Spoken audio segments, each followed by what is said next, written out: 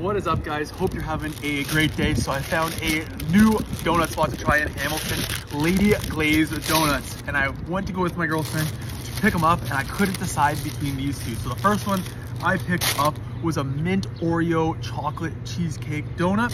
And I'll show you the next one before I give them both a try. And then the next one was a butter tart. Oh goodness, it's falling apart here. The butter tart glazed donut. So let's give this one a try first and tell you how it is. looks like a 10 out of 10 already though. Mm. Exactly what you think a donut with a butter tart on top would taste like. Fantastic. I believe this one's a filled one here. Let's try this one as well.